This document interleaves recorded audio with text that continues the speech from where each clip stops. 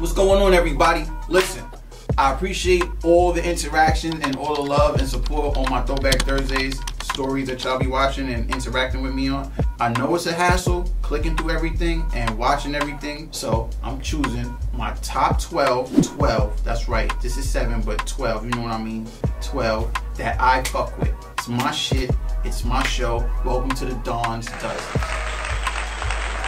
So right now, I'm gonna get into some honorable mentions before I get to my 12. I asked everyone what were their top three favorite fragrances, and I'm gonna let y'all know this was a very, very hard list. A lot of people actually had a lot of the same things because a lot of my homies and a lot of people have taste, and we all grew up in the same era, the 90s. Ironically, yo, a lot of women started out their collection with the Victoria's Secret body sprays. Who knew? Cucumber Melon and shit like that. That was y'all. Shout to y'all. And fellas, we all know. Shout to Brut. Everybody's grandpa pops had a Brut bottle. Anytime I put that shit on, that shit used to burn. I don't understand. Those are my two honorable mentions, and I'm gonna get into my list. Number 12, Obsession by Calvin Klein. That shit was just like one of the dopest commercials. You didn't know what was going on. It was like sex on TV. It was good. When you put that shit on, it was like, damn, my sexy ass teacher wears that. I know that fragrance. That shit was a movie.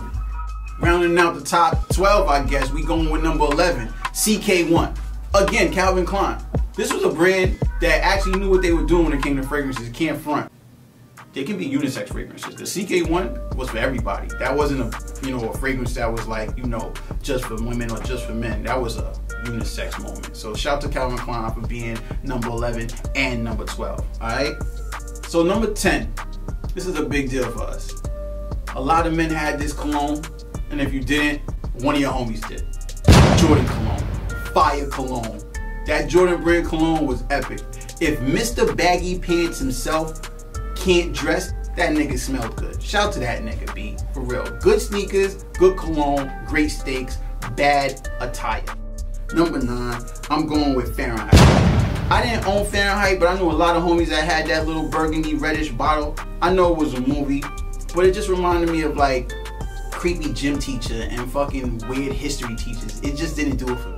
Number, what, was, what we on right now? Number eight, Tommy Hilfiger. And I'm gonna also say Tommy Girl, because everybody had this cologne. This fragrance was a beast, you know what I'm saying? I used to wear this shit whenever I was Tommy down to my socks. Shout out to Tommy. And anyone that wore Tommy Girl was a movie. I always thought they was like Aaliyah in my book, you know what I'm saying? Like, I know Aaliyah smelled like this, but come on. Number seven, Issey Miyake.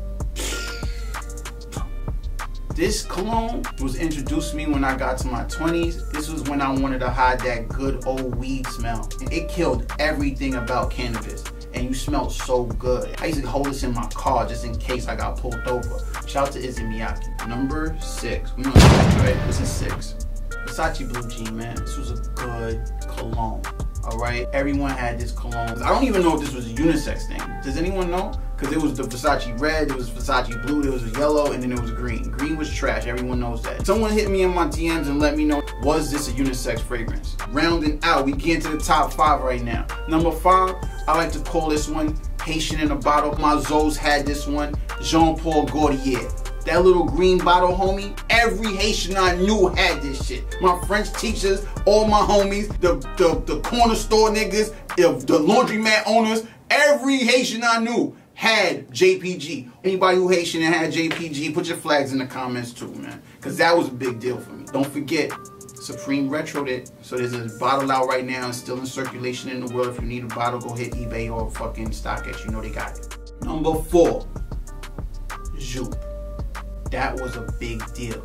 That was like cotton candy in a bottle.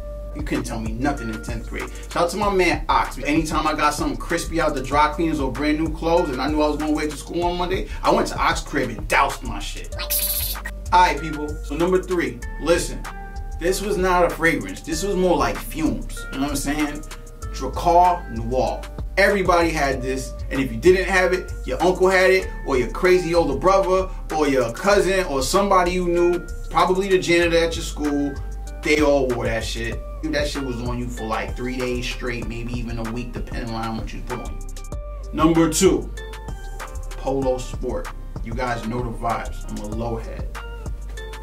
you understand what it is. I'm not gonna go any further. That good blue bottle, come on, B. We was all out here thinking we smell like Tyson Beckford. I'm done, and I'm letting it go.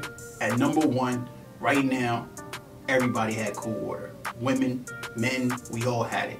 It's like the gateway drug of fragrances. If Cool Water was a drug, it'd probably be the best piff ever. Shout to Haze from 2001, equivalents of Cool Water to us in the 90s. So there you have it, people. Don's Dozens. I'm out of here. Enjoy your Valentine's Day.